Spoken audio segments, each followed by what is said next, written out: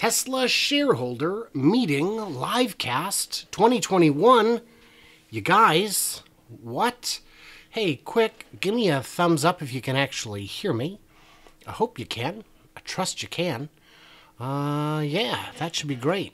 Now I will need to, of course, go over here and mute this. Mute it. Mute it. Perfect. Okay.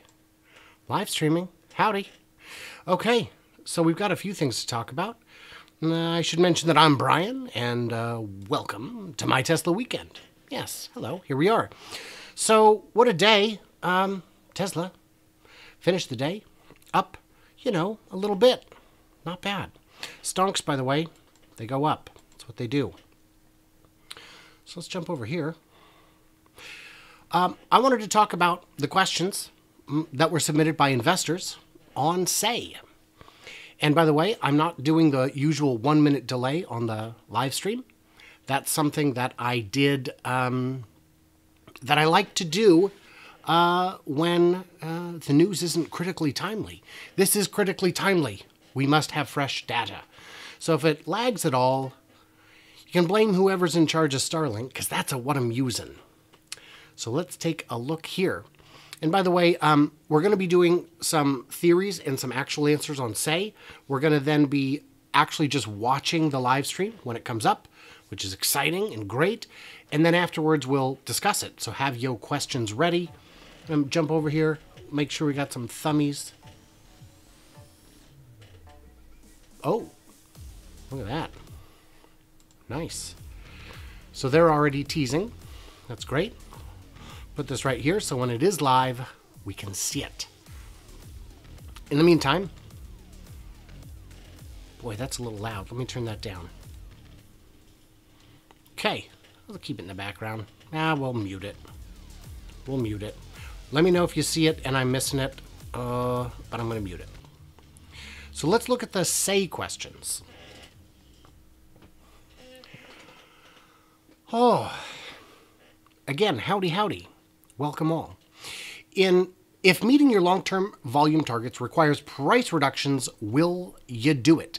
And the answer has already been provided. The answer is yes, of course they will. Um, we want to make our cars more affordable, and we're gonna. Uh, what they don't say in the answer here um, is that uh, there's no there, there's a huge benefit to not making them affordable when demand is as exceptionally high as it is anyone who's ever ridden in a Tesla or driven a Tesla is more likely to buy one. So the more of them that sell, the more demand seems to be going up, and that's pretty awesome. But here's the thing if you're selling a half million cars, which they did last year, and you up the price a thousand bucks, what is that? An extra 500,000, uh, 500, uh, let's add some zeros there. What is that? 50, 500 million? It's a half billion dollars. And if you're coming into a run rate of a million cars at $1,000, that's a billion dollars in extra money. A billion dollars is about what Giga Shanghai Phase 1 cost. And if they could afford to build another Phase 1 type Gigafactory each year that the price stays up by a thousand, they're going to do it. They gon' do it. As a bridge to the ride hailing network, could you leverage the insurance product to give customers the ability to rent out their vehicles via the app, enabling the car to make more money for them, like a proprietary version of Turo? The answer um, I think we're going to focus on enabling the robotaxi. Just basically, yeah, just that. That's just a small subset of the overall robotaxi your car thing. Um, it's a lot of work. Setting up something like Turo is a lot of work. And especially if you're going to be competing against your own customers at some point, it's tough. It's a tough balancing act. But setting up something like Turo, there's critical mass involved. If you don't have enough cars in enough areas, it just doesn't work. Counting on them to definitely make their cars available could frustrate customers if you don't have enough. And Tesla just doesn't have the surplus units available to sell. Residential energy use accounts for roughly the same magnitude of carbon. Today's boilers, blah, blah, blah. Are you bringing HVAC to homes soon? Well, the answer is yes, we agree. Yes, we're gonna. But that's the, that's the official answer.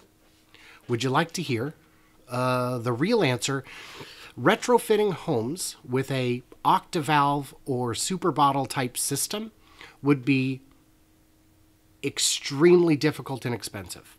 It would be prohibitive. Um, outfitting new homes with something like that, though, that's more doable. But it's a smaller market. So uh, Elon says, absolutely, like the heat pump in the car, being able to use the battery. Uh, you know, we could use the hot water tank of the house for this purpose. Yeah, there's there's opportunity there, but it's down the road. At what point do you have enough do you expect to have enough internal or external battery capacity to start ramping up stationary storage deployments again? So uh, I'm not sure if this is meant to mean um, Megapack or Powerwall.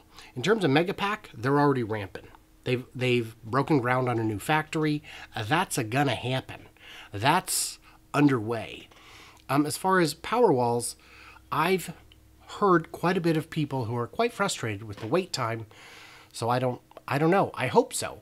As the lithium iron phosphate uh, patent expires, which is happening any minute, like next month or in the next few months, they should be able to switch to something that's uh, more robust and less energy dense than lithium ion, like they have in the uh, standard range um, SR pluses in China and now in America, because um, weight isn't as critical in your garage as it is in your car. With the current rollout of FSD Beta, what are the main hurdles on the road to level 4? Man, all of them. All of them. Will you design a separate vehicle specifically for use in a robotaxi role or, for example, Vegas Loop? Boy, I hope that the platform they build for the Vegas Loop ends up being the cargo van or the RV, you know, the small RV. I know someone like Dave Lee would love to get his hands on something that's purpose built to the dimensions of a of a boring tunnel. So I hope that comes, but I don't know. And the hurdles to level 4 remain all of them. All of them. The fact that no one is there yet should speak to the absolute difficulty of it. Manufacturing is hard, delays happen. What contingencies do you have in place to ensure the bottlenecks you might encounter while ramping internal cell production do not preclude your ability to hit your Model Y targets in Berlin and Texas? And an answer has been provided. Ah, we're trying to de risk 2021 so that we're not reliant on the 4680s, but in 2022, they hope to have them up and that it'll work uh, to de risk the manufacturing itself. That was one of the reasons why we located our pilot facility in Fremont. And as Elon pointed out, uh, it will be the pilot plant alone is within the top 10 cell factories on Earth. So that's a uh, that's substantial. So that's that's your answer there. Um, the longer answer, my answer is they buying batteries from everybody all the time. I suspect the plaid was supposed to have 4680s and it was delayed because they couldn't get them done because they couldn't get there. But they will. Um, with regards to Wright's Law, at what volume production is the 56% cost decline for batteries expected? At the full 3 terawatts or at lower volumes? I don't have a good answer to this, but my suspicion is they don't have a good answer either. It's a combination of factors. Um, different components can go down in price at different times, and they're not always necessarily dependent on each other. And for those of you just tuning in, uh, I will be just showing the live stream when it's up, but I will have notes at the top of the screen, uh, and you won't have to endure my my pretty mug, and I'll turn my mic off. So that'll be that'll be that'll be great. And then afterwards we'll have a Q&A where we go through all the questions. Can you please discuss with us the price margin debate in more detail as volumes start to ramp? Will you cut price to expand volumes further and maintain a competitive advantage? Of course they will. Of absolutely course they will. Of course they will. Why would they not? Do you think they're going to stop selling as many cars as they possibly can, the fact that they've increased the price so many times and their margin is so fat should tell you they've got room to bring that price back down again to control demand and pull that lever as needed to just make more sales. They can also move cars um, to uh, make more and just have them available as inventory for folks who simply won't wait a month or three to get a car. A lot of people want to, to buy a car now or have to. Maybe their car suddenly died or was in an accident. They need a car. Can't wait three months, can't rent for three months. It's not cost effective. Can you help us better understand the key milestones required to reach a profitable $25,000 car, battery cost reduction, cost reduction versus additional manufacturing efficiencies? It's all that. the front and rear casting is going to save money. The reduced size and weight means less material. That's going to save money. The reduced size and weight also means a smaller battery pack. That reduces cost. The structural battery pack does it too. Now the only question is can they get the whole shell on there? And one obstacle they're coming up against is the FSD suite costs the same whether it's going into a, a, a plaid or a $25,000 car. So hopefully that continues to scale and reduce prices, but we shall see. Costs, I meant. I'm going to jump over the chat real quick and make sure I haven't like muted myself or anything ridiculous. So good. So good. Hello, all my friends. I will address you later. Hello, all of you. Okay. I don't know what I was doing over here. Oh, yes, this. Okay. What are the incremental steps from FSD beta to full Tesla network launch? What is stopping you from launching a human driven ride hail service now ahead of the FSD release to all owners? Um, so, the ride hailing service is a monumental undertaking and that would require a whole division with a, a ton of people who would have to be amazing, trained, vetted, all that. They've got a lot on their plate. I think that's a low priority. But incremental steps from FSD beta to full network launch. Boy, I don't know the answer to that one. I don't know the answer to that one. Can you talk a bit about the progress of the virtual power plant in Australia? When do you think we'll start to see an international expansion of it in other countries? Already, it's already happening. There's one in the UK, there's one in Hawaii, there's one in Alaska, there's, uh, they're everywhere. Not everywhere, but they'll be everywhere soon enough. There's one in Texas that Tesla owns themselves. They gon' keep the gravy off that one.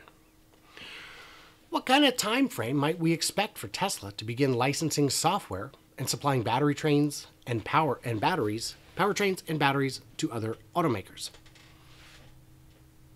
Boy, uh, I would say eight to ten year horizon. It's still pretty far out. Right now, a lot of the OEMs, the legacy auto companies, honestly believe that they can do this all on their own. They're not yet at the point where they understand the scale of the challenge, the absolute difficulty of the problem. And as they get there,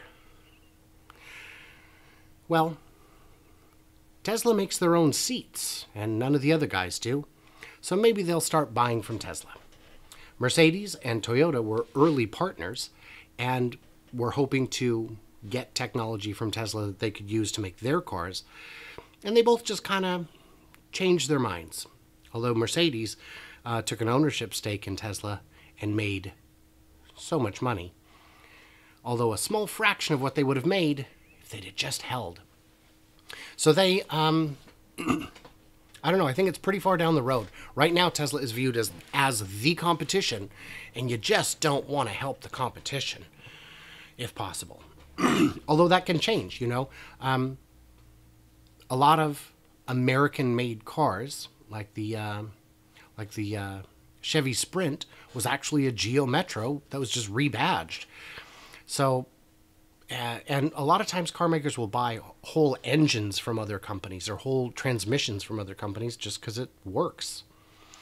Given strong for your demand for your vehicles, excess capital, and a large storage market, how fast could you accelerate the rollout of new gigafactories beyond Berlin, China, Texas. How soon can you bring on the next factory? Now you're in my wheelhouse. My suspicion is that once Texas and Berlin are wrapped up, they will begin work on two more. Now, that might just be expansions of Berlin and Texas, but it could be other locations as well. And regardless, it's going to be, you know, um, a year and a half ish from an announcement slash groundbreaking until it's done. Um, Giga Berlin was, uh, Giga Shanghai was quicker because um, the phase one was very small and uh, mostly one story. It was an easy line to build. Oh, it's time. Let's go.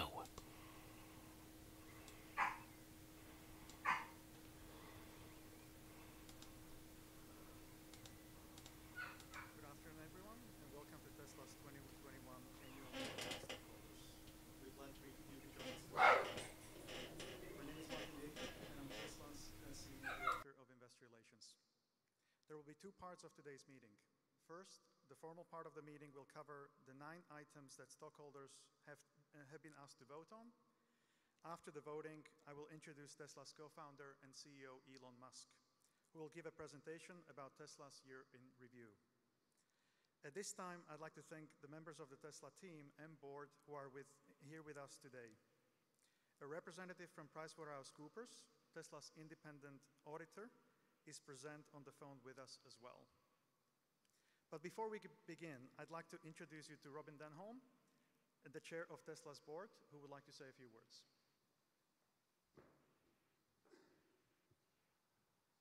Thanks, Martin.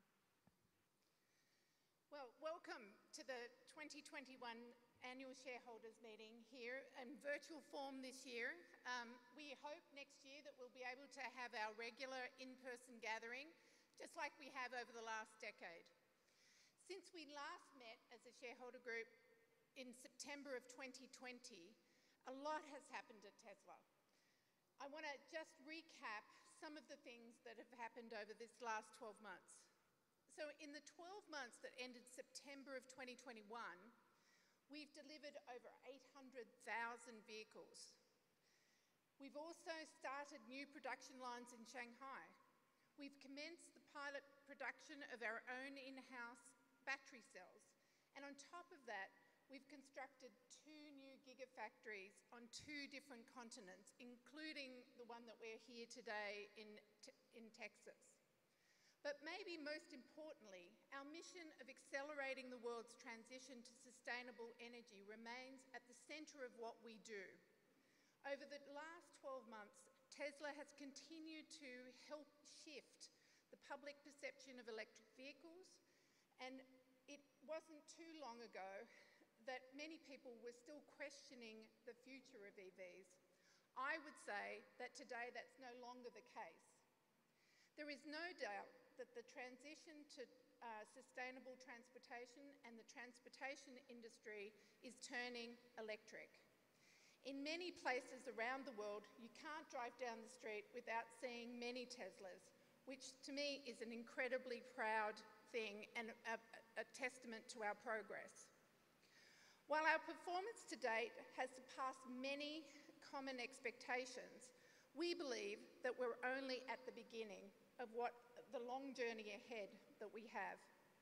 As we disclosed in our impact report this year, by 2030, we are aiming to sell 20 million electric vehicles per year and deploy 1,500 gigawatt hours of energy storage per year. Our mission is clear. The automotive sector and the energy sector have to become fully electric. There's no question about it. While producing and selling half a million cars in the last calendar year is more than most expected, we need to continue to grow exponentially to create a true impact for the planet and for our shareholders. I also want to acknowledge that Tesla's achievements so far and our future aspirations would simply not be possible without, without the unrelenting efforts of our amazing employees.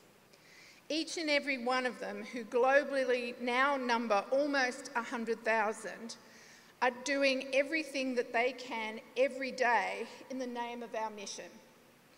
While our, while our investors might recognise some, a handful of Tesla executives or directors, we know that Tesla's success is due to the creativity, the ingenuity, and the sheer hard work of our tens of thousands of employees globally.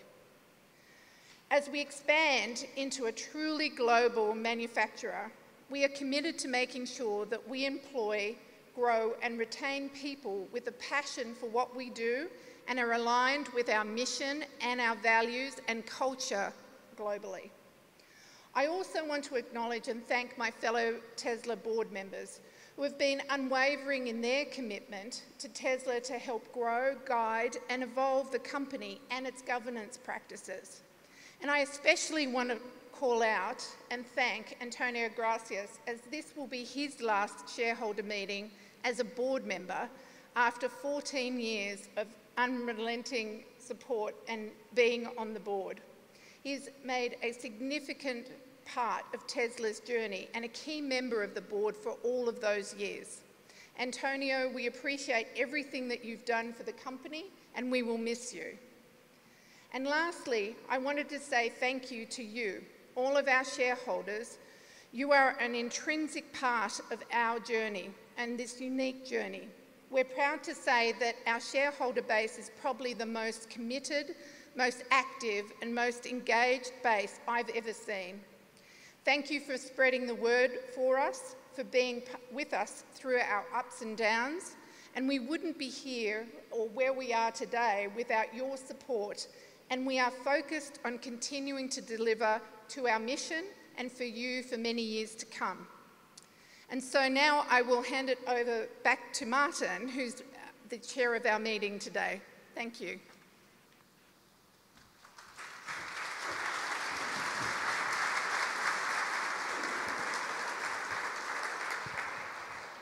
Thank you, Robyn. I will now call meeting to order. Please refer to the meeting agenda that is posted on our virtual meeting site. The time is now 4.36 p.m. Central Time, and I declare that the polls are now open.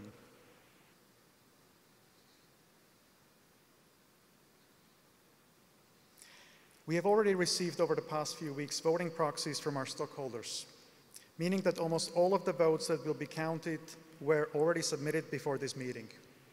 However, if you wish to vote your shares or change your prior vote, you may do so through the virtual meeting site. Tesla's board of directors has appointed Computershare Trust Company to serve as an inspector of election for this meeting. Computershare has taken a signed an oath as an inspector of election and has certified that starting on August 26, 2021, the proxy materials or a notice of internet availability of the proxy materials were mailed or provided to all Tesla stockholders of record as of August 9, 2021.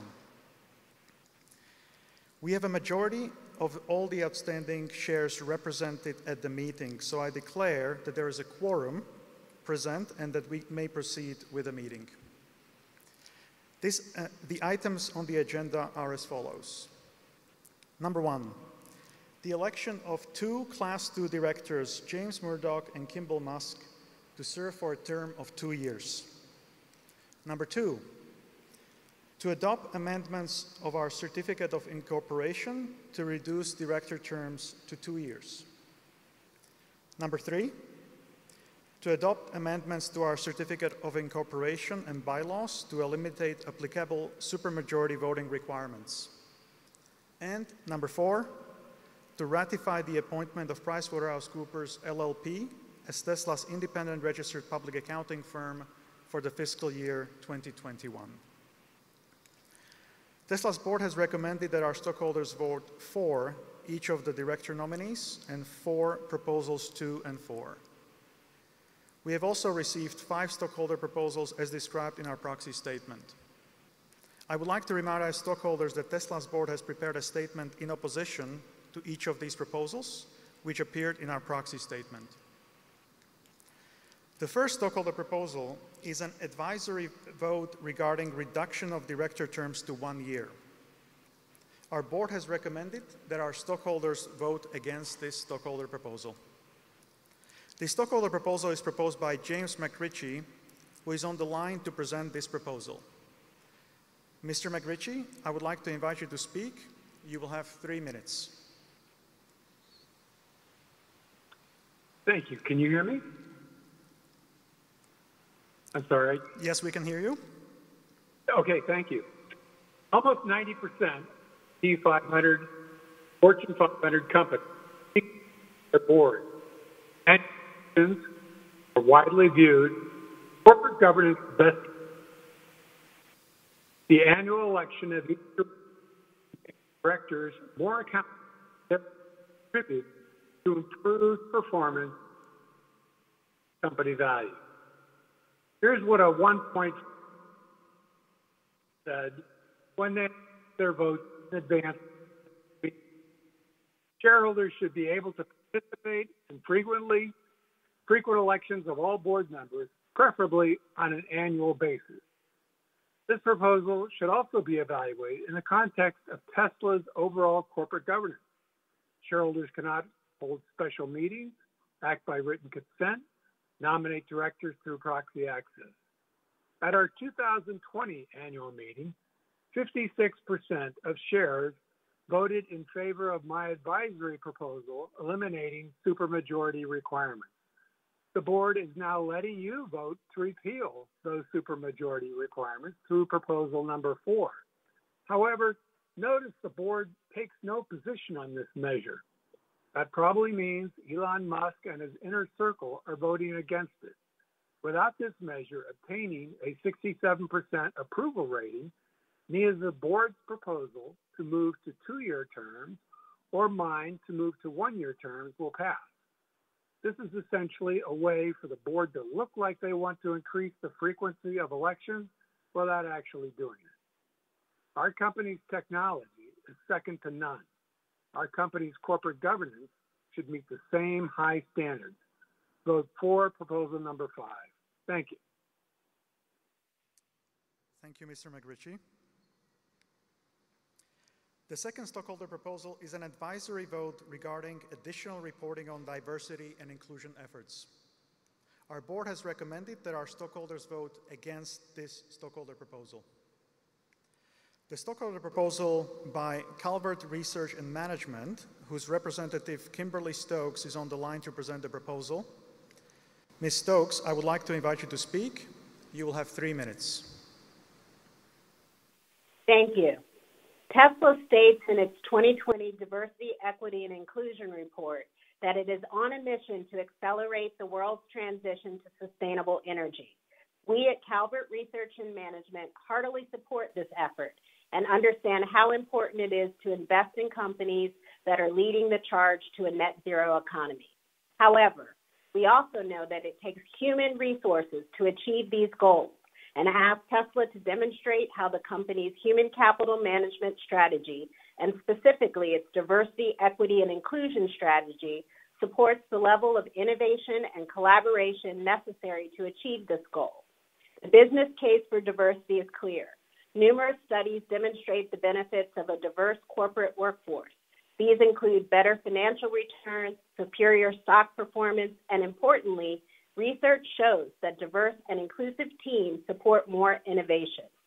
Tesla's 2020 DEI report lacks sufficient quantitative and qualitative information for investors to adequately compare the company's performance over time and relative to peers.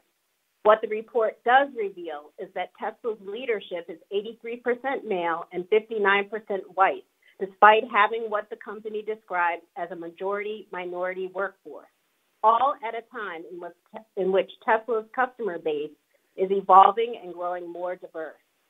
Calvert asks that Tesla's reporting include the process the board follows for assessing the effectiveness of the company's DEI programs and the results of that assessment we also ask that Tesla disclose its full EEO1 report, a comprehensive breakdown of Tesla's workforce by race and gender according to 10 employment categories, which is already collected and provided to the United States Equal Employment Opportunity Commission every year.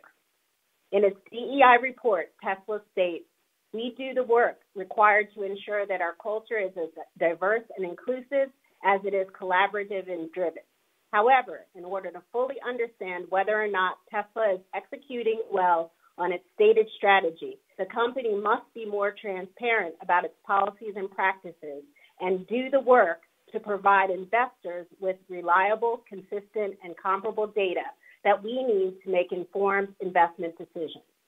We acknowledge that Tesla is committed to integrating DEI reporting into the company's annual impact report, but want the board to understand that Tesla's disclosure lags far behind peers. In 2020, Calvert analyzed the top companies held in our core portfolio. At that time, less than 20% were disclosing EEO1 data, including Tesla. Following our engagement, 70% of these companies have committed to disclosing their full EEO1 report on an annual basis. As shareholders, we are concerned that Tesla's lack of focus on diversity, equity, and inclusion could hinder the company's ability to innovate in the future. We urge the board to commit to full disclosure rather than incremental, ineffective action. Thank you. Thank you, Ms. Stokes. The third stockholder proposal is an advisory vote regarding reporting on employee arbitration. Our board has recommended that our stockholders vote against this stockholder proposal. This stockholder proposal is proposed by NIA Impact Capital, whose representative, Christine Hull, is on the line to present the proposal. Dr. Hull, I would like to invite you to speak. You will have three minutes. Thank you. Hello, this is Kristen Hull. Can you hear me? I am Dr. Kristen Hull, founder and CEO at NIA Impact Capital. On behalf of NIA and our co-filers, I formally move Proposal 7. This resolution requests that Tesla's board of directors oversee the preparation of a report on the impact of the use of mandatory arbitration on Tesla employees and on its overall workplace culture. Why is this report needed? After this week's headlines and many other employee allegations of racial discrimination, we as investors need a look under the hood. The use of mandatory arbitration limits employees' remedies when it comes to both harassment and discrimination. Precluding employees from suing in court, often keeping underlying facts, misconduct, and case outcomes secret, these clauses may allow harassment and discrimination to continue, hidden from other employees and from investors. Bias, discrimination, and harassment in the workplace create unknown and uncompensated risks for investors, inviting unnecessary legal, brand, financial, and human capital issues to a company. On the flip side, the benefits of a positive and inclusive company culture with diverse teams include access to top talent, better understanding of consumer preferences, fewer blind spots when it comes to leadership decisions, more informed strategy discussions, and improved risk management. A diverse workforce and the different perspectives it encourages has also been shown to produce more creative and innovative workplace environments. Of particular relevance to Tesla, research shows a strong link between diversity and revenue from innovation, where companies with above average diversity produce significantly greater revenue from innovative products or services than those with below average diversity many technologies with which Tesla may compete for recruitment and hiring, such as Adobe, Airbnb, Google, IBM, Intel, Lyft, Microsoft, Salesforce, and Uber, no longer use these policies. Tesla simply cannot rest on its laurels, assuming its first mover advantage will last. Given the allegations raised by over a hundred past employees, these racial slurs, discrimination in promotions, a retaliatory culture, and lack of response from human resources, investors are counting on Tesla to step up and make human capital management a priority. Tesla is a known leader in innovation, and it's time now for Tesla to also lead when it comes to promoting a fair and inclusive workplace. Tesla's board is asked again to complete the requested report to determine if mandatory employee arbitration is in the best interest of Tesla, its employees, and its shareholders. Thank you. Thank you, Dr. Hall. The fourth stockholder proposal is an advisory vote regarding assigning responsibility for strategic oversight of human capital management to an independent board level committee. Our board has recommended that our stockholders vote against this stockholder proposal. The stockholder proposal is proposed by Comptroller of New, uh, the City of New York, whose representative Michael Garland is on the line to present the proposal. Mr. Garland, I would like, you to, I would like to invite you to speak. You will have three minutes. Great, thank you. Good afternoon, Chair Denholm, board members, and fellow shareholders. The New York City pension funds are long-term Tesla shareholders with roughly 1.3 million shares, representing nearly a billion dollars of capital at risk. Our proposal calls on the board to assign responsibility for strategic oversight of human capital management to an independent board committee that will, one, review corporate policies and practices on principles, strategy, and management of workforce-related matters, including those related to addressing workforce equity and inclusion and compensation for employees other than executive officers. Two, oversee the extent to which Tesla's policy standards and requirements are applied consistently across its operations. And three, offer guidance on strategic decisions that may have an impact on the workforce.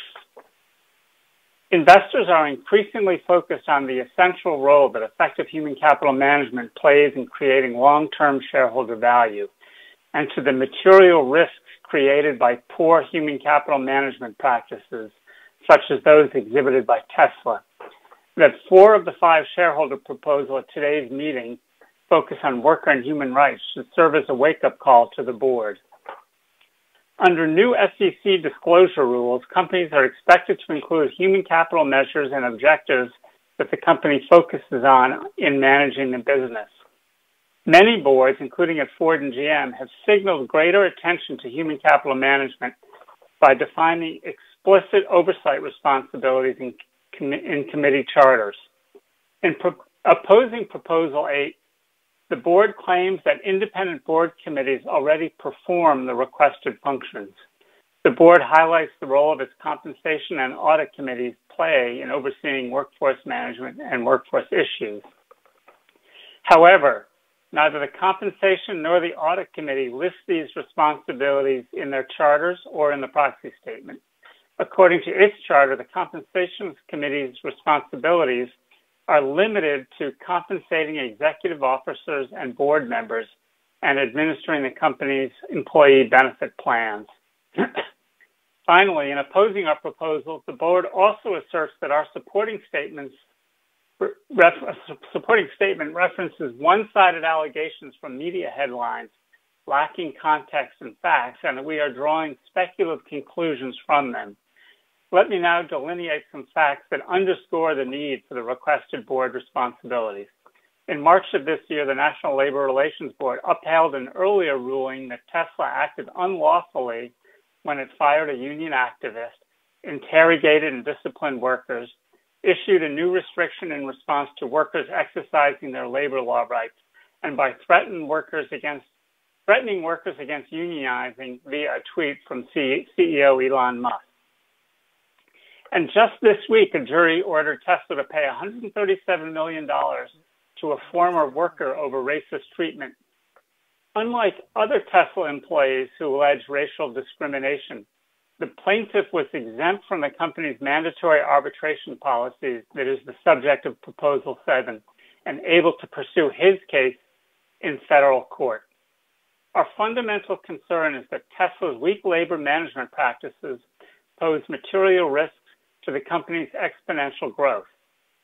We expect the independent directors we elect to provide the oversight necessary to protect the long-term interests of the company, its employees, and its shareholders.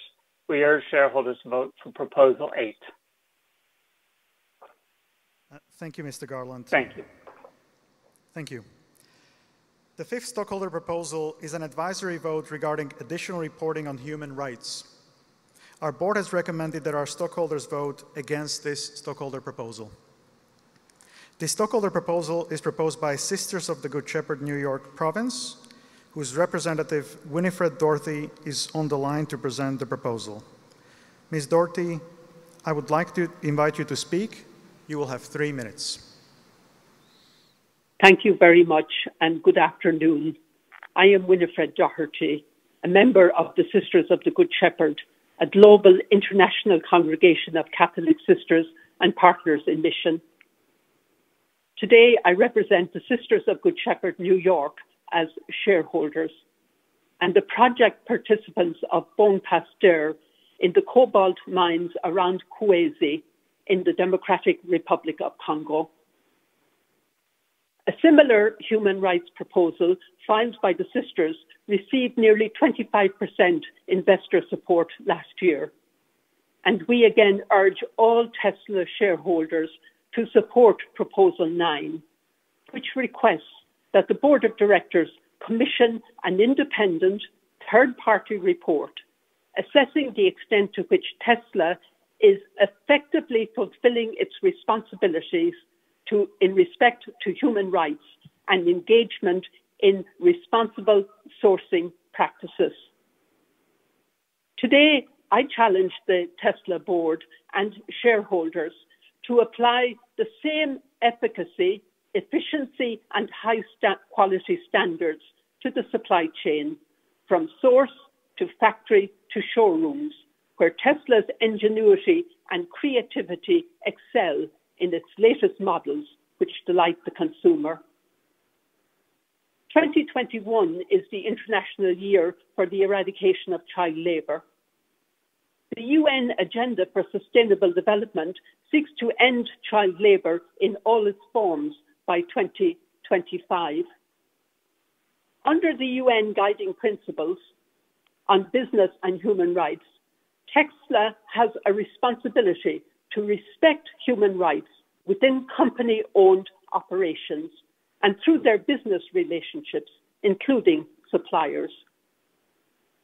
Pope Francis in May 2019 urged that mining be at the service of the human person and their inalienable fundamental human rights, not vice versa.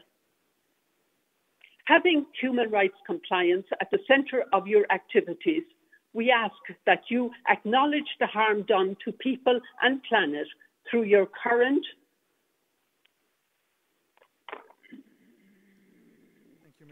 uh, through your uh, current organizational model and recognize that today's world urgently needs social and environmental sustainability, demanding a balance of economic growth and holistic well-being of people and planet. We invite you to join initiatives to advocate for better regulation and a just enforcement of existing laws by all duty bearers. Ensure all supply chains are ethical with zero tolerance of child labour. Implement just working conditions, safety, fair wages and hours for each and every person within the company. Support with funding local initiatives that promote a sustainable and diversified economic development at the upstream of the supply chain. And finally, complete the final rights assessment requested by Proposal 9. Thank you. Thank you, Ms. Dorothy. Please note that this is the final opportunity to submit any proxies for them to be counted.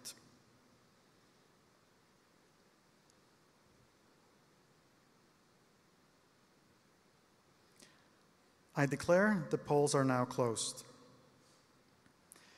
Based on the proxies that we have previously received, I'd like to announce on a preliminary basis that our stockholders have approved the recommendations of the Tesla board on all agenda items except item 2 regarding the reduction of director terms to two years, item 5 for an advisory vote regarding the reduction of director terms to one year, and item 6 for an advisory vote regarding additional reporting on diversity and inclusion efforts. While over 99% of shares present are entitled to vote on, on item 2, did so as recommended by the board, unfortunately, less than 66.7% of our total outstanding shares, which were required to approve this item, submitted votes for this item.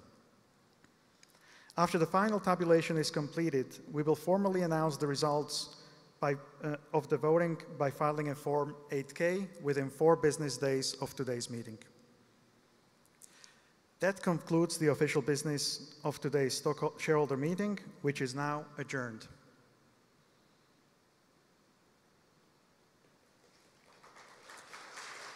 Okay.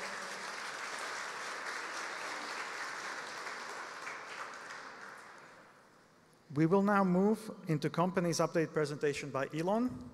Please go to the website www.tesla.com slash 2021 shareholder meeting in order to watch the presentation. During the course of the following session, we may discuss our business outlook and make other forward-looking statements. Such statements are prediction based on our current expectations. Actual events or results could differ materially due to a number of risks and uncertainties including those disclosed in our most recent Form 10-Q filed with the SEC.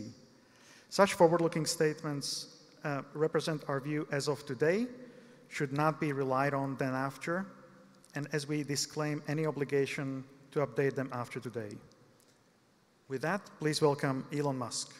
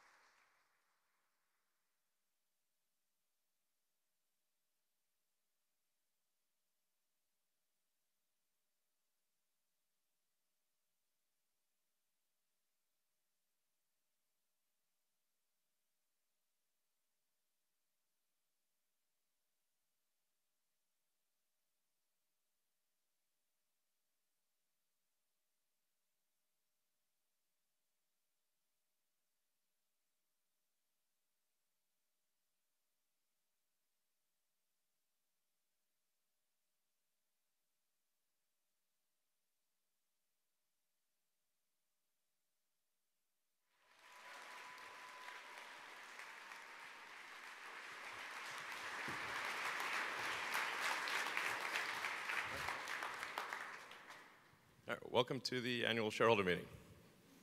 Um, coming to you live from Austin, Texas. So, um, we've had a fantastic year, uh, thanks to the great work of the Tesla team. Um, I'd just like to start off by just thanking the Tesla team for the incredible work over the past year to get where, where we are. Well done.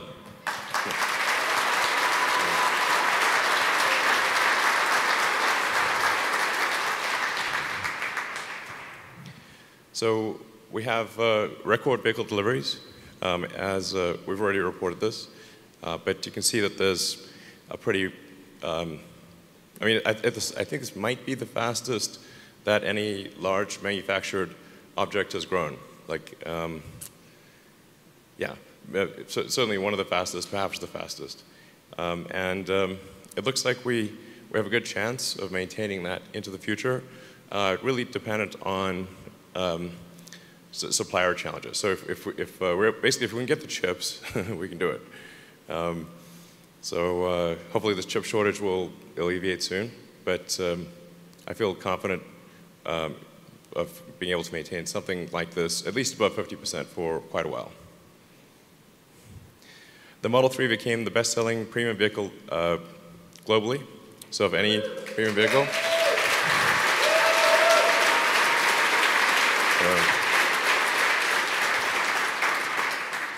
That I, I mean, I almost got arrested at one point for claiming that we'd do 5,000 a week, literally. You're laughing now. Um, anyway, this is great. Um, we think the Model Y will be uh, the best-selling vehicle of uh, any kind globally. So we think it will, it will exceed the Model 3.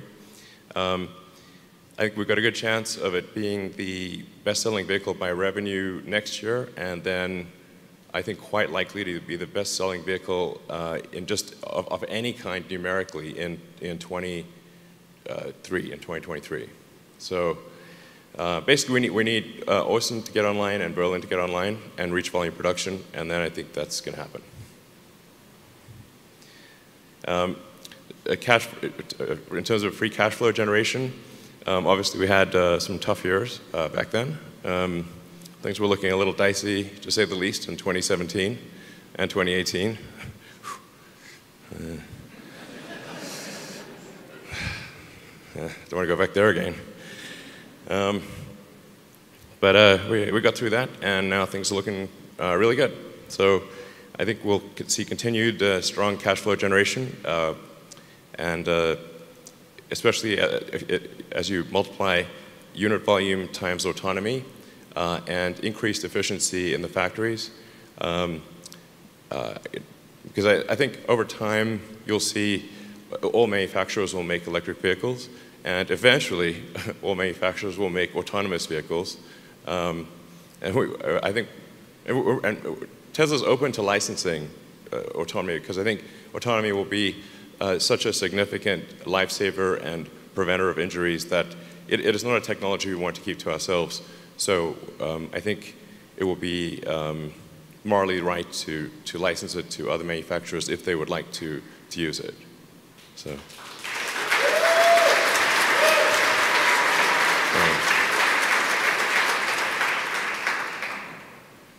Um, and of course, uh, we, we, made uh, a lot of progress on, on cost reduction. Um, and uh, so despite our average selling price actually going down significantly because with the introduction of the Model 3 and Model Y, these were much lower priced cars, uh, we've managed to still do uh, decently well on, on gross margin. So this is, um, you know, get, getting the average price down and, and gross margin up is, is very difficult, uh, but we've managed to, to do that. Um, so it's good. Um, our goal really is to make the cars as affordable as possible. Um, we are seeing significant cost pressure in our supply chain, um, and uh, so we've had to increase um, uh, vehicle prices, uh, at least temporarily, but we do hope to actually reduce the prices over time and make them more affordable. Uh, so um, yeah, unfortunately, we've just expedited. Like, I mean, the sheer amount of money we're spending on um, flying parts around the world is, is uh, just not, not great, but hopefully temporary. So, and we need a lot of batteries. Uh, hence, uh, battery day is what this shirt means. Very obtuse. Um, but um, we are going to need a lot of batteries, and this is going to be um, a combination of batteries from our suppliers. Um, and in, in supplier discussions you know, some of our suppliers have just asked me outright, are, are we going to just, you know, put them out of business or something? I'm like, not at all. As many cells as you want to make and supply to us at an affordable price, we will buy. No limit. I'm like, oh, okay. So like, do you want to, have, yeah, increase by 100%? Sounds good to me. Um, so the, the basic plan is uh, we're, we're really going to order a lot of, and we have ordered a lot of batteries from suppliers, basically telling suppliers literally uh, uh, go, go as much as you can make, we'll take. Um, and, uh, and, and, we'll, we'll prioritize uh, batteries for vehicles, but then use um, any excess uh, cells that we have in the Powerwall and Megapack. Because over time, we think the demand for stationary storage is going to be at least as high as the demand for vehicles. So uh, sustainable energy, primarily solar and wind, is intermittent. And so the wind doesn't blow all the time, the sun doesn't shine all the time, obviously. Um, and so you need batteries to buffer that power. Um, so the, the, fundamental pillars of a sustainable energy future are uh, basically solar and wind.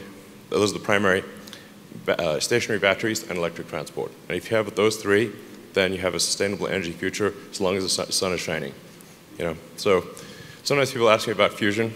And I like it as an idea. And by the way, I think it's totally doable. Um, but uh, there's a giant fusion reactor in the sky that shows up every morning and zero maintenance.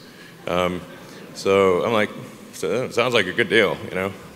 Uh, or just catch a little bit of that sunlight and uh, power Earth. Um, a, a, shockingly small amount of land is needed to power Earth. it's like, you know, a, a couple hundred miles uh, by a couple hundred miles of solar panels will power the entire United States. So I was like, okay, it's not that hard. Um, and then I believe we calculated you only needed one square mile of batteries. So you may think like, wow, a lot of batteries. One square mile of batteries. It's not that crazy. So anyway, um, so we've got, we've got a plan to uh, reduce the cost per kilowatt hour of batteries. Um, and, um, and our suppliers, you know, have similar plans. Uh, so this is um, really supplemental to our suppliers. Um, we'll make cells, they'll make cells, we'll use them all. Um, the, the, fundamental good of Tesla, I think, is um, by how many years did we accelerate sustainable energy? This is the, the fundamental, I think, uh, way to think of the, the value of Tesla. And so if we are able to accelerate sustainable energy by more years, that is good. Um, hence the need to grow quickly. Uh, we've got three new factories. Um, Giga Shanghai has done an incredible job. Um, and uh, Giga Shanghai now exceeds uh, Fremont uh, in production. So actually, I'd like to just give a special hand to the, Tesla China team. Right.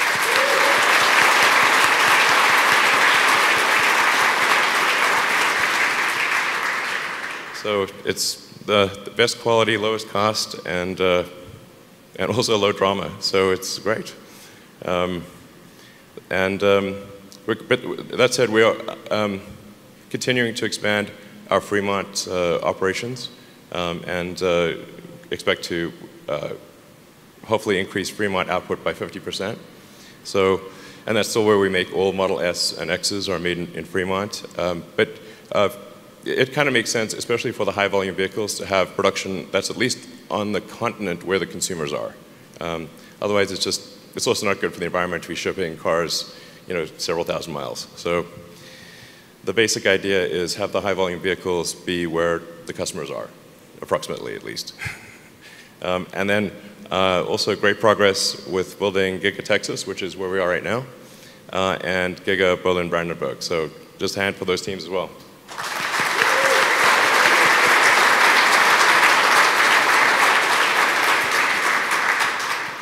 Um, and, and the, um, th these factories uh, will have cell production uh, in them as well. So this will be really kind of raw materials in, cars out. So really, really big. Um, yeah. I mean, these things will be in like units of Pentagon, basically. Uh, let's see. So impact report. Um, uh, there's a lot of, uh, I think, interesting stuff in our impact report. Um, we go into I, I, quite a lot of detail on um, all things we're doing. Um, and you know, uh, Tesla is, is, is, certainly a company that uh, tries very hard to do the right thing in all respects. We try very hard to do the right thing in all respects. We don't always succeed. But if you're looking for a company where you can say, is that company really trying to do the right thing? That is Tesla. okay, we really try. okay, I mean, uh, uh, anyway. So, uh, um, so uh, as I was mentioning, we've got the you know three parts of a sustainable energy future: uh, solar and wind, but I think primarily solar will be the the main source of energy, uh, of sustainable energy, and energy in general.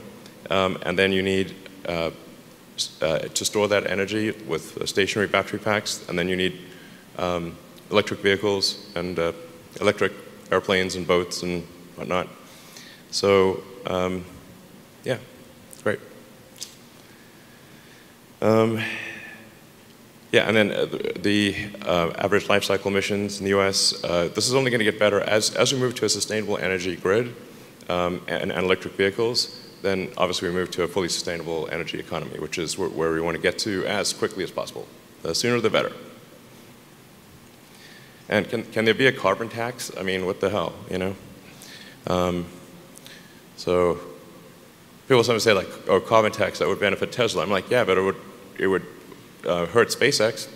Uh, so how about the carbon tax? Which really needed. So.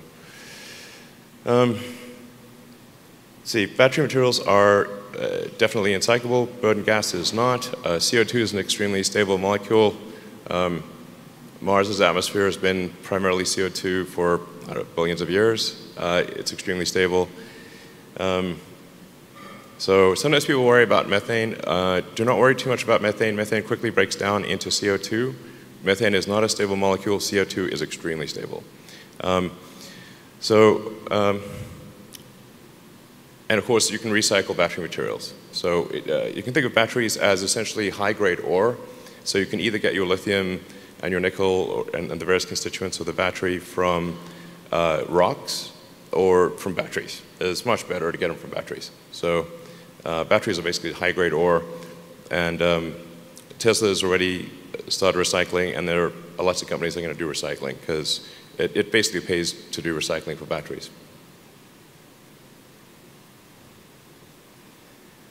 So um, we're seeing, you know, um, increased uh, extreme weather events, and uh, there's like wildfires, and here in Austin there was a um, massive snowstorm that turned the power off. I was actually in Austin for that uh, snowstorm in a house with um, no, electric, no lights, no power, no heating, no internet. Couldn't actually even get to a food store. If you could get to a food store, there was no food there. That went on for several days. Um, uh, however, if we had the solar plus Powerwall, uh, it, the car would have had lights and electricity, and actually if you had a Starlink internet, you'd have internet too. So um, all the things you need for a prepper, basically. if doomsday comes, yeah, it could be helpful. Um, so in factory safety, we've done, we've made uh, huge improvements on, on factory safety. Um, so uh, we're now 18% better than the industry average. So this is a, this is great. Um, it's, it's always tough with safety as you ramp production lines and as you start up factories, but then as, as the, once it's in steady state, then the injuries naturally, naturally decline because people get used to it and you iron out the issues. And so we're seeing um, excellent uh, factory safety uh, in, at Tesla. Um, and we, we're, we're, our goal is to have the safest factory on earth. And then uh, AI Day, I think it was important to uh, change the fundamental perception of of Tesla because people do, they sort of think of Tesla as a car company, and yes, we make cars, um, but, but, at, but the AI portion, part of Tesla was not well understood. Um, Tesla is as much a software company as it is a hardware company. And, um, and, and, as, and we also do the, the chips. Uh, so we designed the, uh, the full self-driving inference computer. Uh, we're designing a training computer that's going to be able to we think, be the most efficient uh, neural net training computer in the world by far. Um, and um, and we're, we're, seeing a tremendous response. So daily applicants by role. Um, as you can see, it's basically, uh, you know, on the y-axis there. and, and, then after AI Day, that's uh, the AI applicants increased dramatically. So I thought that was a very successful day. Team did a great job. Um, and um, yeah, um, AI is going to be a very important part of the future. Uh, Self-driving is obviously one of the functions. Um, and um, I obviously have mixed thoughts about AI, and we've got to watch out for AI being a danger. Uh, but it's happening either way, so I guess if we help do it, we can try our best to make sure it is uh, positive, you know, good, good AI hopefully. um, yeah. And then uh, I'm excited to announce that we're moving our headquarters to Austin, Texas.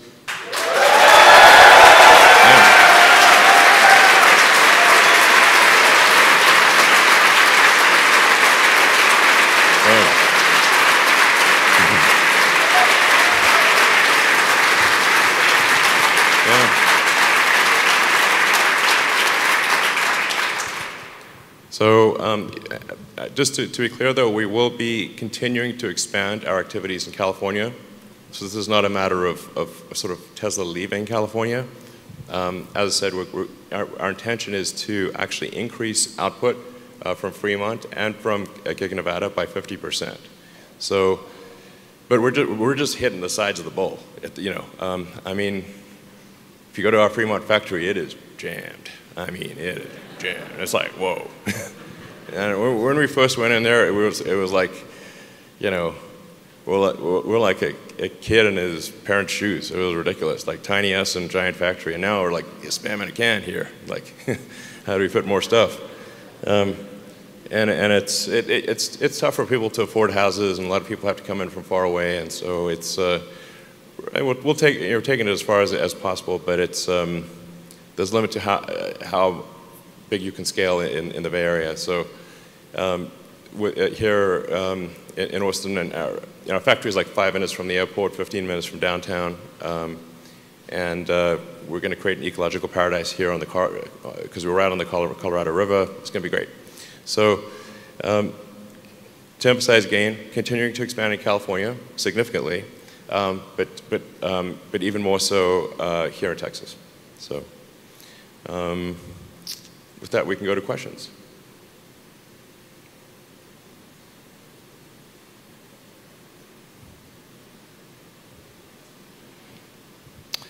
Uh, okay, so uh, when will Cybertruck production begin and at what rate will the ramp up happen? Um, well, um, so th th this year has been just a, a constant struggle with, with parts supply. Um, so just to be clear, if, if we had like five extra products, we would not change our vehicle output at all uh, because we were just basically limited by multiple supply chain shortages, like so many supply chain, uh, of so many types, not just chips. There were lots of supply chain shortages.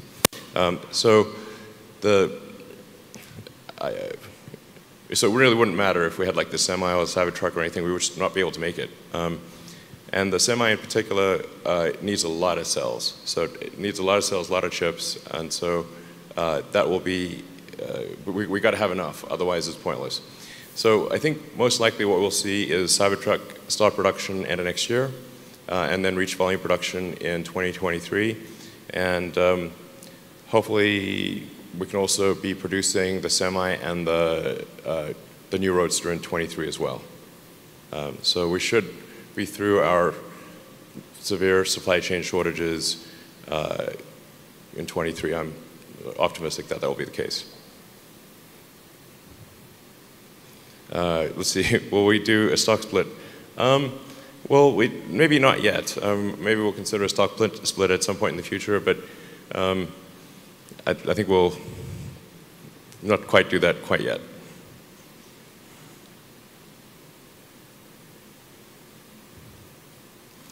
Uh, will we see 4680 battery cell production in Texas? Um, I, don't, think we will see 4680 production in Texas this year, uh, but we are making um, 4680s in California um, at a, our pilot plant, which is a big plant by normal standards. It's like a capable of 10 gigawatt hours a year. So um, it's just it's just a mile away from our vehicle factory in Fremont. So it's um, that, that basically the, the, that that factory will be able to make more than enough cells for uh, Giga Texas to, to scale production of Model Y. Um, and um, I do want to emphasize, like, the, from the point at which a factory is able to start making cars to where it reaches uh, high volume production is typically about a year, and that's considered very fast. So um, it's, uh, it, it, it, takes longer, it, or at least in, in, in, Tesla land, it takes longer to build the factory than it does to reach volume production once the factory is built. Um, so like uh, in Shanghai, we built the factory in 11 months, but to, to get to high volume production took about a year.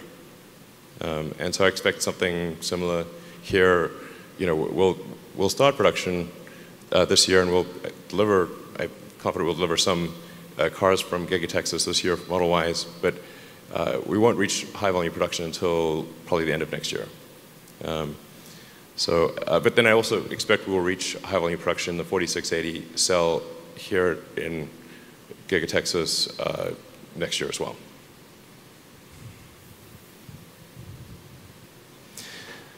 More factories.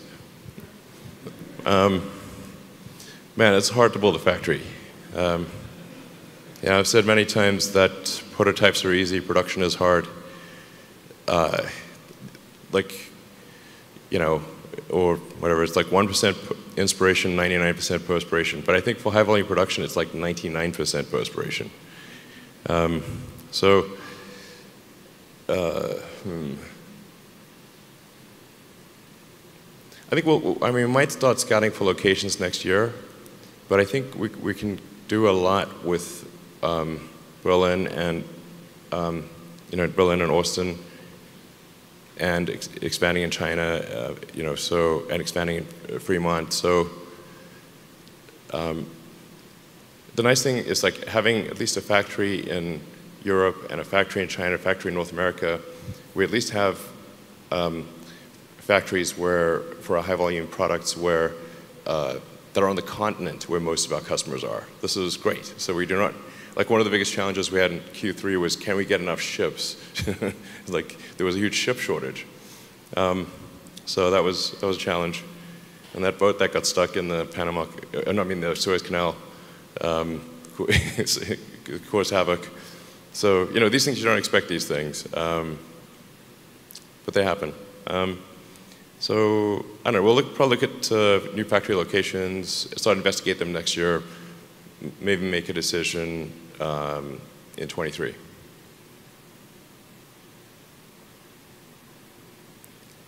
Does Tesla plan to offer dividends? Uh, we do not currently have plans for dividends. Um, I, I do kind of feel like the time when a company offers dividends is you know, it's kind of cresting the hill, you know, um, if you will. It's not usually not. They've run out of things to invest internally. Uh, you know, we've not run out of things to invest in internally by a long shot. So.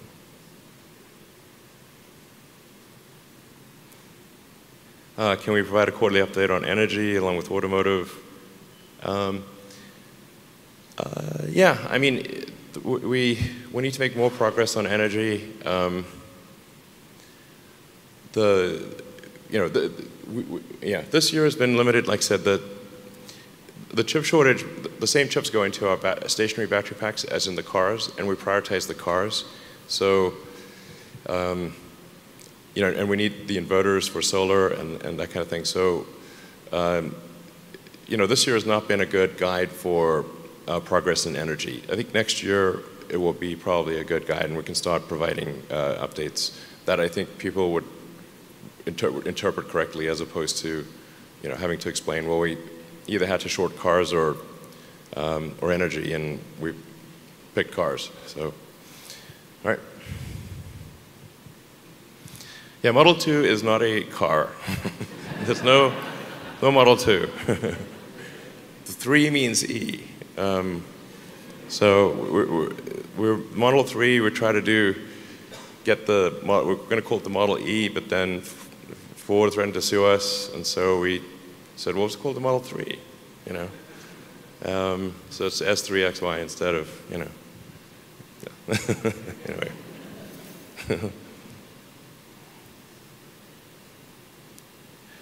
uh, Gigafactory is getting bigger with each iteration. Um, not, not all gigafactories will get bigger with each iteration, I think, uh, but uh, yeah, most of them will. They, will get more advanced and more efficient. Um, and you're looking at sort of taking a first principles approach to manufacturing. Uh, you want to look at the volumetric efficiency of, of a factory um, and the, the average speed of a factory. It's kind of like the, the, the rocket equation um, where delta V is like exhaust velocity times the log of the start to uh, end mass ratios. Um, so uh, I think it's something similar uh, to that for a factory. Um, and you can also think of it like a chip. Um, like, do you make chips, um, get more out of chips by making them bigger or by bringing things closer together and increasing clock speed? And actually, I think there's tremendous opportunity in factories to actually bring things closer together and increase the, the, the cycle time, um, or clock speed. Um, and uh, there's actually I think, tremendous opportunity to improve the efficiency of factories. And Tesla's long-term competitive advantage will be uh, manufacturing. Because um, all cars will be electric, eventually all cars will be autonomous.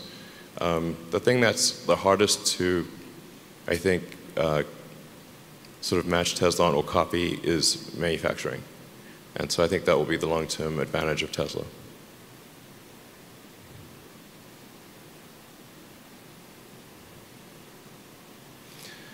Uh, yeah, limiting factor to growth is um, engineering.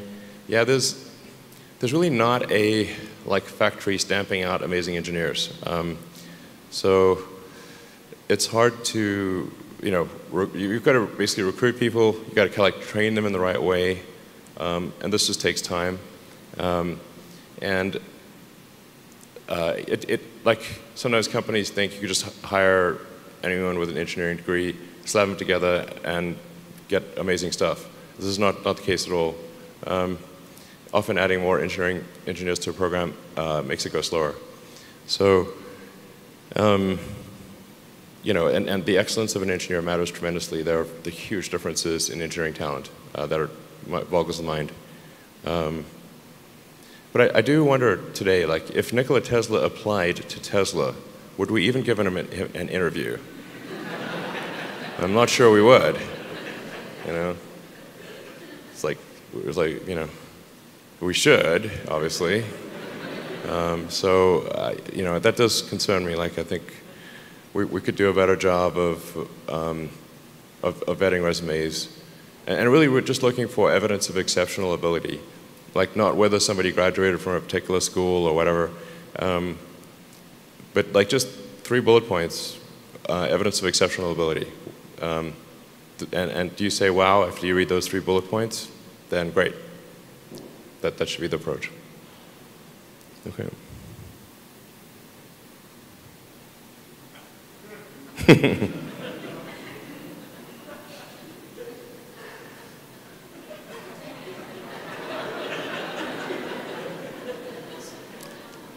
Um, I, am actually a big fan of the original uh, VW uh, sort of bus. Um, that was really cool. Um, and uh, I haven't really seen the new one, but um, yeah, I mean, I think over time Tesla will make basically, you know, all all major variants of vehicle. Um, why not? You know, um, one in every significant category, I think. Uh, yeah. All right.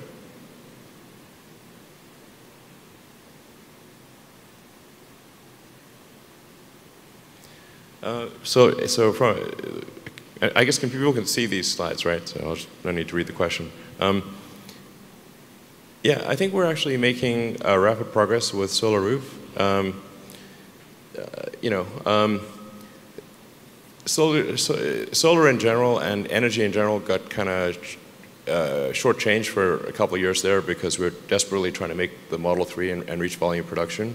So we just moved everyone from anywhere in the company that could possibly work on Model 3 was working on Model 3. It was all hands on deck, as you know. So there just a couple years where we just, you know, just if we got to save, if, if Model 3 fails, the whole company's dead. So we're just going to move everyone from Solo, from everywhere to help with Model 3. Um, so we're a couple years behind on that. But um, we, I think we're now making rapid progress with uh, the solar roof, and um, in particular with uh, new home builders. Obviously, the most efficient uh, way to get a solar roof is to put it on, uh, put a roof on once, um, instead of, um, you know, it, it, like doing retrofit is obviously fundamentally more expensive than just than, than doing solar roof on new homes. So um, we now have relationships with a number of new home builders, and um, and we expect that those to, to gather significant momentum, um, and um, and then we're going to have a campaign which is uh, kind of like, well, I'm dating myself here. I want my MTV. Um, so I want my solar roof. Where is it? So, um, you know, I think we'll just get people actively asking in new home developments, well, does it have a solar roof and a Powerwall? And, you know, because then, you know, you, you generate you, you, you, generate your own power, and um, you can help stabilize the rest of the grid using the Powerwall. Um, and we're doing this in partnership with utilities. Like the thing that I think um, people need to appreciate is that there's a, a, lot more electricity production that needs to occur as we move to an, uh, an electric vehicle future. Um, for, for two homes where both cars are electric, um, the power electricity usage will approximately double. And so if you don't have local power production at the homes um, with a battery, because the battery's got to buffer the power. Um, otherwise, you, if, if, if, you just have so, if, if just have solar without batteries, it, it causes these massive waves in the grid. Um, uh, and, and so you have to have the batteries to stabilize the, the, the, grid. But those batteries can then act collectively to stabilize the whole grid. Um, and that's software that, that we've developed that is, um, I think, go, first going to go into use in Australia. Um, that's going to be, I think, quite compelling. But you really need, um, for a sustainable energy future, you have to address uh, uh, electricity at the, at the homeowner level. This is essential. Um, but there will still be a very prosperous future for utilities because uh, electric power will approximately double. And then if you transition heating to electric as well, it approximately triples. So this is a lot of work both at the local level of uh, electricity distribution and at the utilities. Utilities got to expand and there's got to be um, solar uh, and, and batteries at the homeowner level. Um, but ha having a Tesla Solar with, with, with battery means that you have power no matter what. If the utility shuts you off or for any reason, you still have power. Um, when I was here in the, in the Austin blizzard, it's like I was staying at a friend's house, but he didn't have the solar roof and battery, so I'm sitting in the dark, uh, in the cold. And I was like, okay, we're really, really brings home the need for the solar roof and battery. Um, so anyway, so I think that's uh, going to see, I think Solar Roof will see massive growth in the years to come. Uh, yeah, 10.2 is going out tomorrow night. Um, yeah. Uh, anyway, this is too much inside baseball on FSD, but uh, the, um, we're going to start rolling out um, the FSD beta to um, all customers with a perfect uh, safety driving record um, tomorrow night at midnight California time. And um, then we'll see how that goes. And we want to be very cautious about the rollout. Um, if that's looking good, then we'll, because um, there's like a little over a thousand people that have a perfect score, uh, then we'll you know, start giving it to people with a 99, 90, 98, 97, and so forth. We'll probably have to have some cutoff, you know, it's like eh, 60%, I don't know. I don't know. Um, but it's, it's got to be, um, we're, we're, looking for people who, who are extremely conscientious uh, drivers for the beta program. Um, so, but it's looking really good.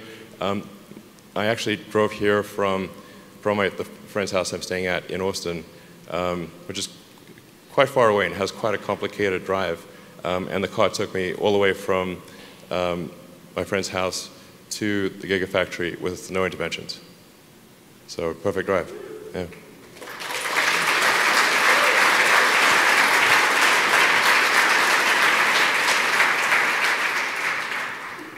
All right, is that, are those all the questions? Or I guess we take some from, yeah, audience? Uh, sure. Or you can just yell or whatever, I don't know. Hey.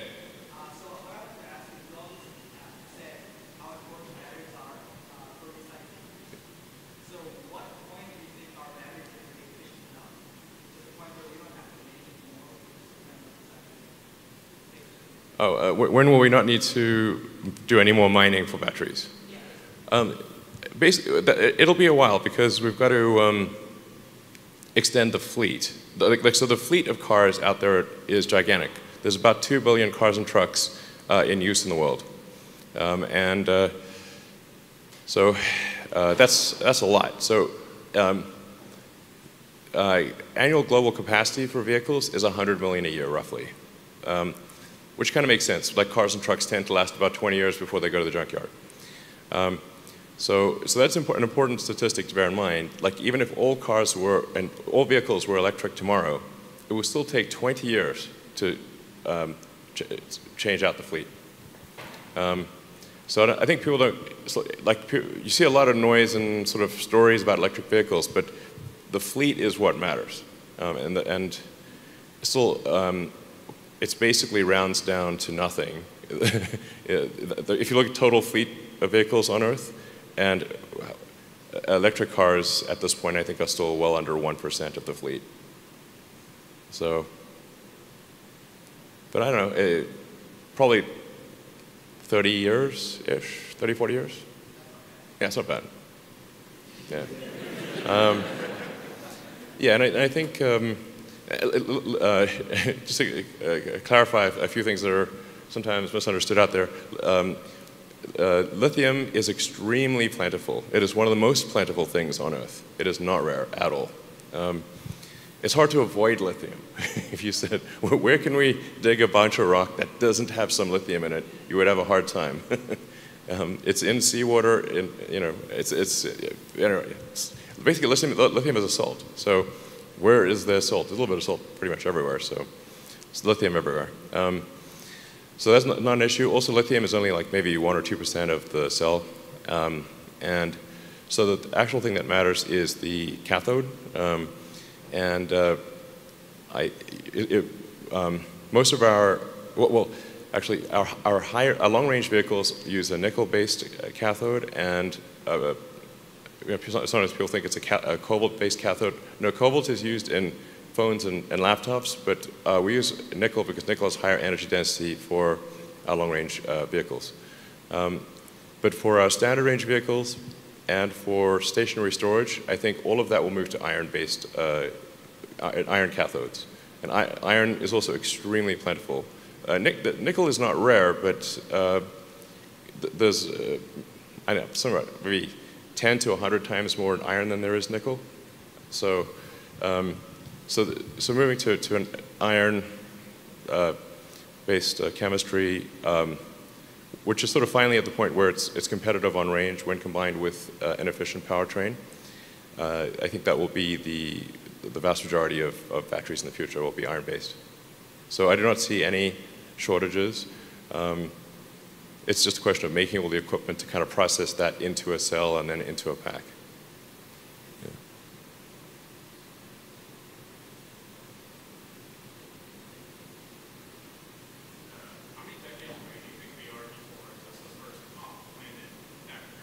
Oh, off-planet factory. I like the way you think. So, how many years before Tesla's first off-planet factory? I mean, I, I, mean, I'd like to see one before I'm dead. That would be cool. Um, so I don't know, what have got, like 40 years-ish? Uh, hopefully before I'm dead, basically. That'd be great.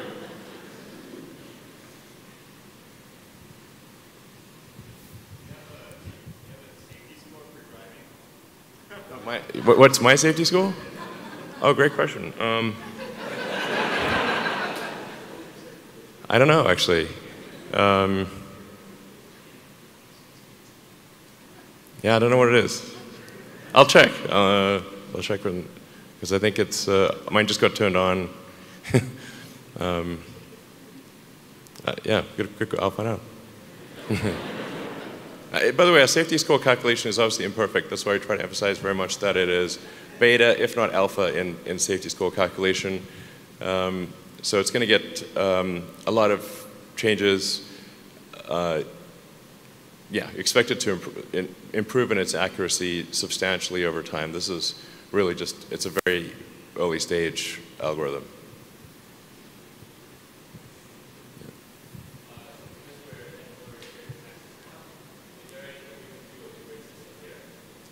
Oh, is there anything we can do with the grid system here?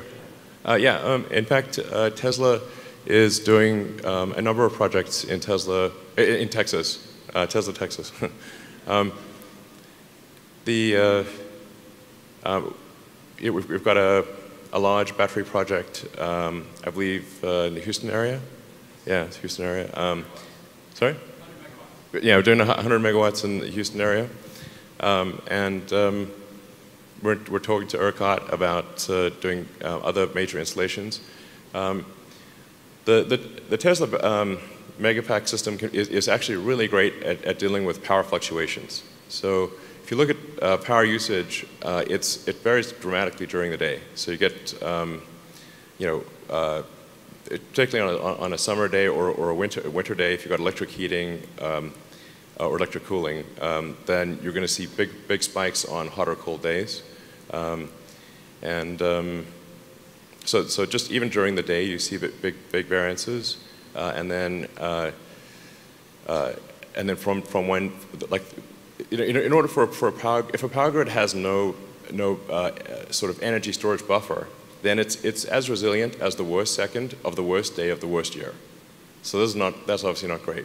Uh, and you, they sort of, they'll throw peaker plants in there, but if the peaker plant is, is reliant on natural gas, and, you, and then people start using natural gas for heating, which is kind of what happened in, in Austin, people were using the gas to heat, then the peaker plants didn't have the gas. Like, uh, okay. But batteries would, would work great. So um, if, if there'd been Tesla megapacks here during the blizzard, the power would not have gone out.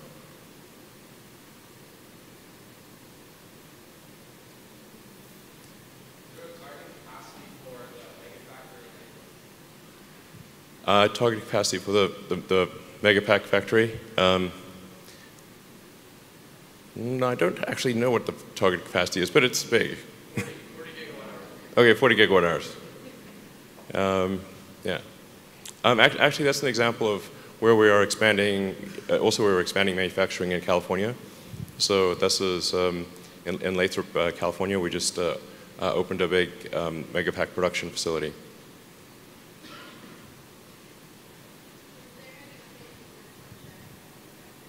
Sorry, it's difficult to hear. Oh, Tesla insurance. Uh, yes, yeah, so um, like the, the, degree to which insurance is uh, a regulatory labyrinth is insane. Um, it was like designed to be hard. It's the feeling you got. I, mean, I don't know if it's designed, it, but it certainly is very difficult. Um, so there's a zillion applications, and you have to wait for a bunch of time and get, well, it's long and complicated, and a lot of it is state by state. Most of it is state by state. So, um, so we're just we're processing applications in states across the country, and um, and then the states also have different regulations, so you can't, you know, actually aren't legally allowed to offer the same insurance in every state. So you got to adjust the software to be different in every state. It's basically it's very complicated. um, but I think um, We'll be offering it in, in Texas very soon, um, and like maybe in a month or something. Next week, great. Uh, phone a friend. um, so uh, yeah, so Tesla Insurance goes live in Texas next week, um, and um, I knew it was this month, but uh, and then uh, we have it in California. We're going to be upgrading the version in California because um, in California we, we want to have the same kind of real-time insurance that where your insurance costs are based on your actual driving history, um, which is like the, the, right way to do it. Um, but we're currently not allowed to do that in California for some reason. Um, so we're trying to get permission from the regulators to be allowed to give accurate scores for insurance. Seems like that's the thing you'd want to do. Um, and, um, and then hopefully, I don't know, we'll probably have most of the country next year aspirationally. That's our goal.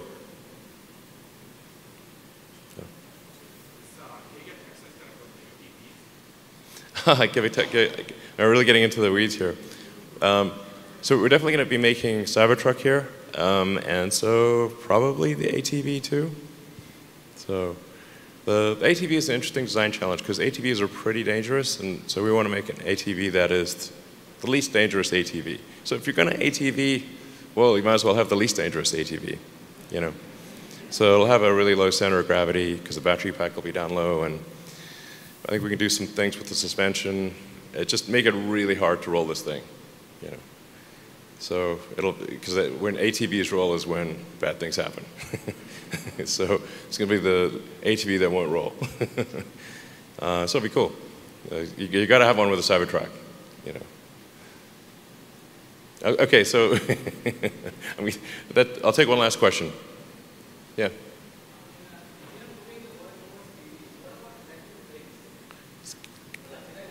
Oh, uh, what about electric planes? Uh, yeah, yeah. well, we have a lot on our plate here. Um, but electric planes, um, yeah, I've been dying to do that for a decade, you know, honestly. But uh, we, we, got, uh, we got quite a few fish to fry here. Um, so maybe one day, maybe one day the electric plane. Um, and battery energy density is improving um, every year, so that's an important uh, important metric to get the cell energy density to um, around 450, 500 watt hours per kilogram, um, and have it at, have a pack efficiency of around 400 watt hours per kilogram. That's when uh, electric planes start to get to get interesting. So uh, I don't know, it'd be a fun problem to work on at some point. Um, but uh, just we, we got we got a lot to do over the next few years, so we're going to focus on these things, get them right, and then maybe one day do that. Uh, all right, thanks everyone for tuning in. Thanks for being here.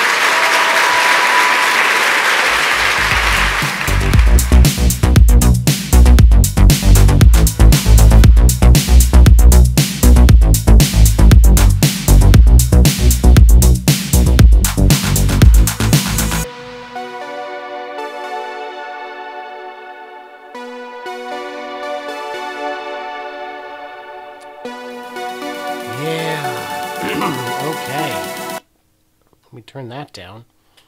Howdy, gang. Howdy, gang. Let me turn my face back on. Howdy, gang. Howdy, gang. Hello, my friends. Boop. Oh, that was fun, wasn't it? If you got any questions, slap them in the chat. We'll hang out for a few more minutes. This ran, obviously, uh, quite a bit longer than I was expecting, but that was great. What a slow start, but it eventually got there. It eventually got there. By the way, I don't know if any of the other streams managed to ever get around to fixing the audio. Um, that was complicated. I had to go into some deep menus to to manually adjust gain uh, beyond the whole thing. Uh, figure it out. I don't know, man. Yeah. Andy, uh, you're welcome. The audio. That's why I was planning the whole time on doing notes, uh, but I did not do them because I had to manage the audio. And that's fine. I'm happy to do that if that's what helps. Uh, so let's see. Cyberquad with fold out solar panels. Mm, why not? I like it. That's a good idea. Uh, what else we got? Uh, I just wanted to see the prices come down and not up. So I assume you mean on the the re, do you mean on the um, on the retail price to consumers? Um, something we talked about a little bit ago was that uh, the way it's going to work is as long as the demand is strong, keep it high. Because if we're talking a million units a year, $1,000 extra is a billion extra to the bottom line, which is what Giga Shanghai Phase 1 cost to build. So if you could build a whole new Giga Shanghai Phase 1 for just the premium from just one year of excess um, demand over supply, do it. Do it. Howdy, Paul. Howdy, Larry. Let's see. Let me uh, see if I can grab a chat here and pop it out. So you can see what I'm doing. Pop it right here. Why not? Make it a little bigger. Okay. Jump over here, make sure I'm not looking crazy. Only a little crazy. Uh ha ha ha. Yeah, much good stuff, much good stuff.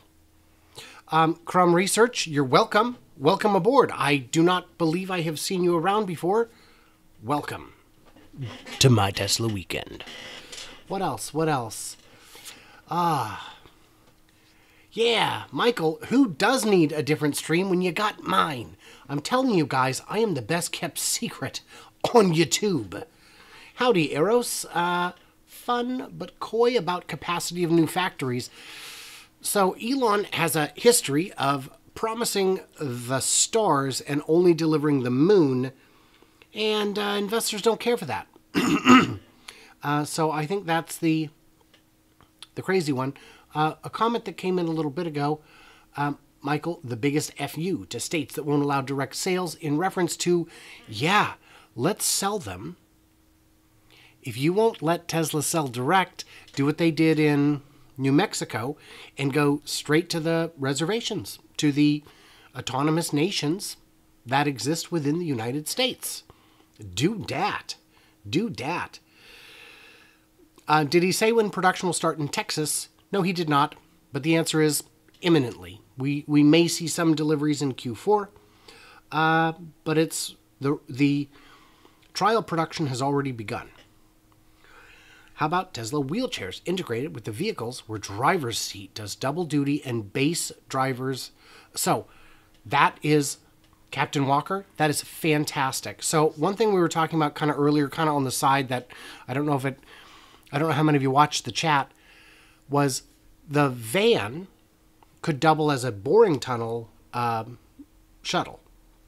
The same form factor could be used, and that form factor would be ideal for a mobility uh, ready vehicle.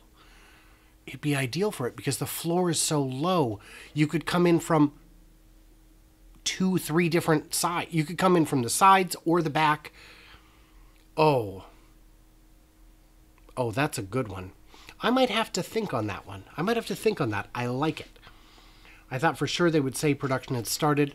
I thought they were going to too. I was expecting, I'm always expecting a, oh, and one more thing moment which is, for the record, the worst Columbo impression that has ever been made.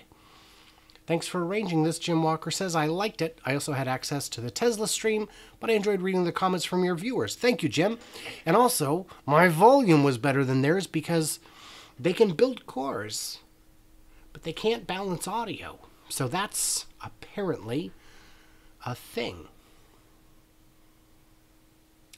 Elon said Cybertruck production may start late next year with volume production in 2023. That's frustrating. That's frustrating. That's frustrating.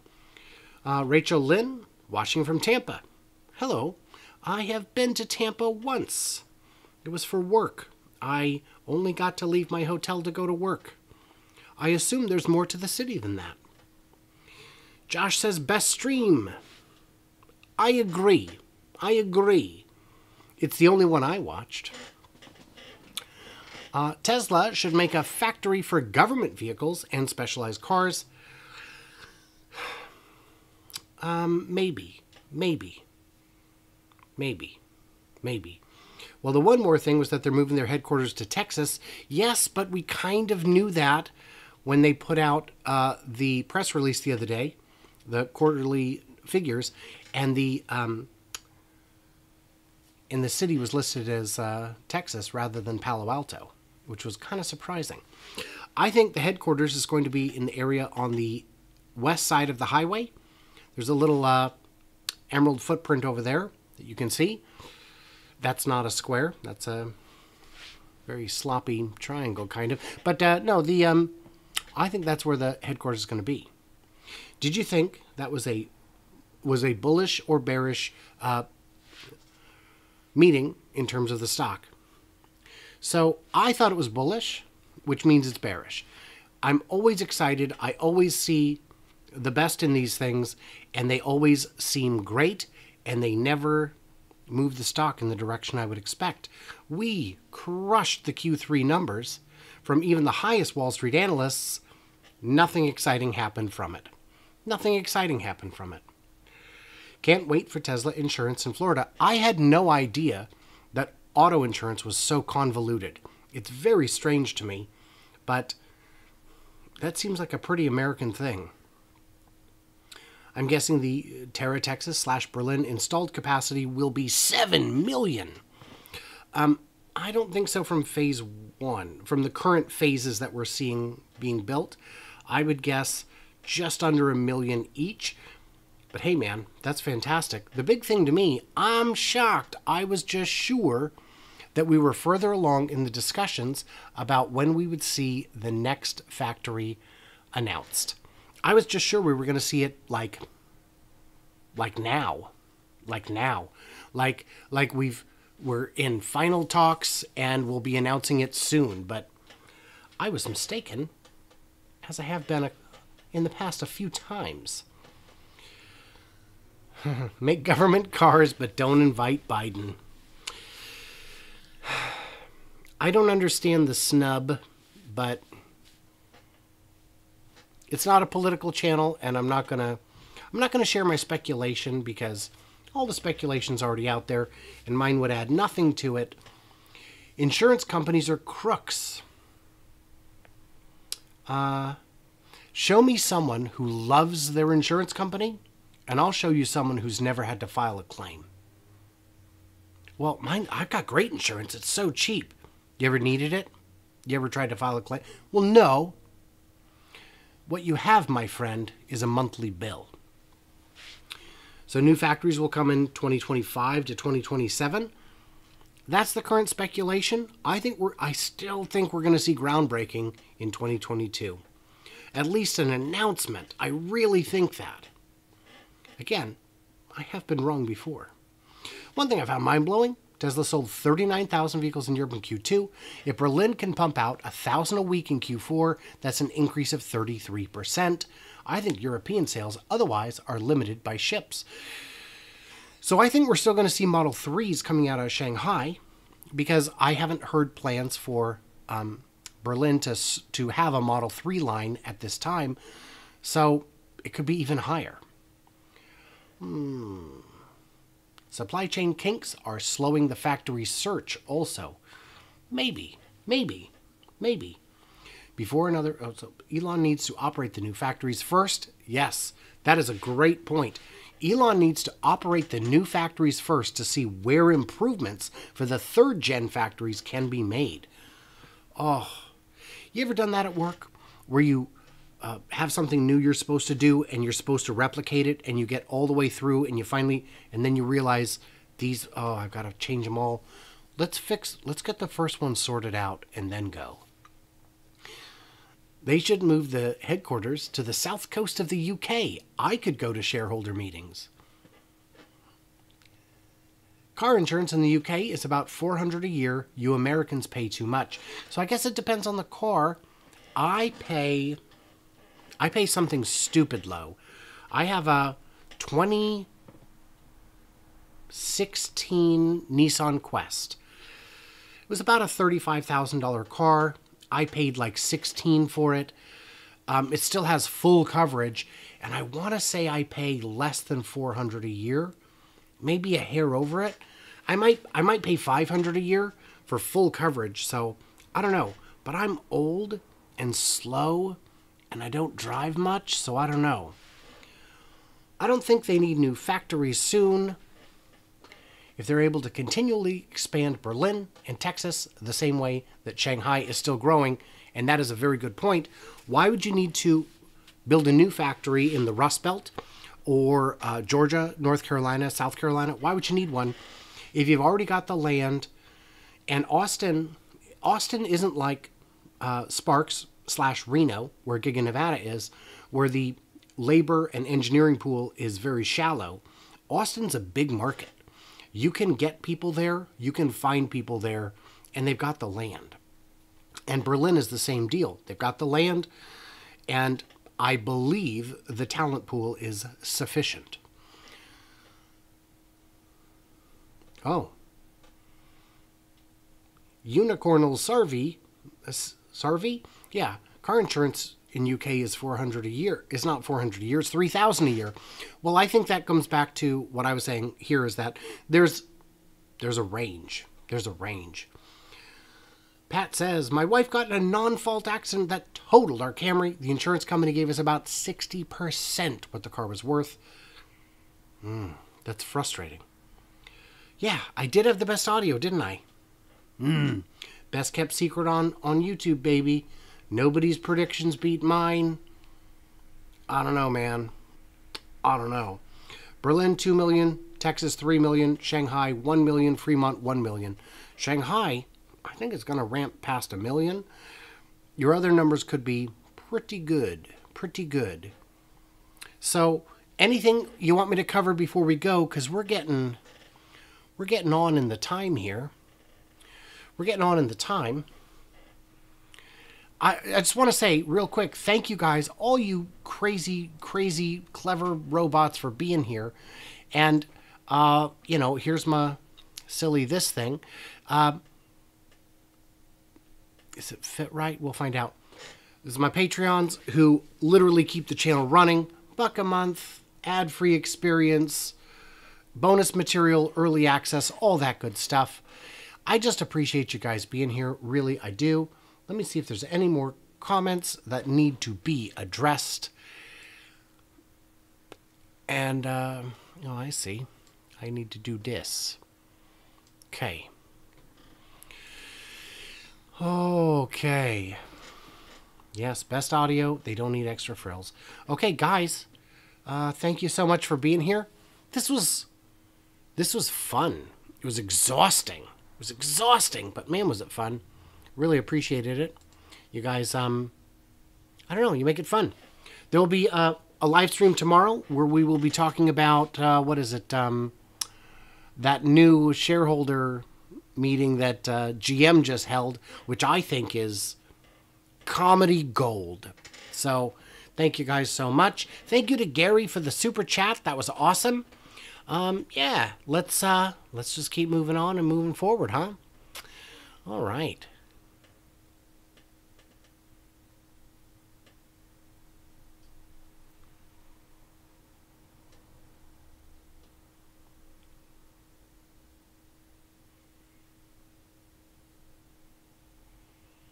Just kind of holding for a second so that I don't cut off too prematurely.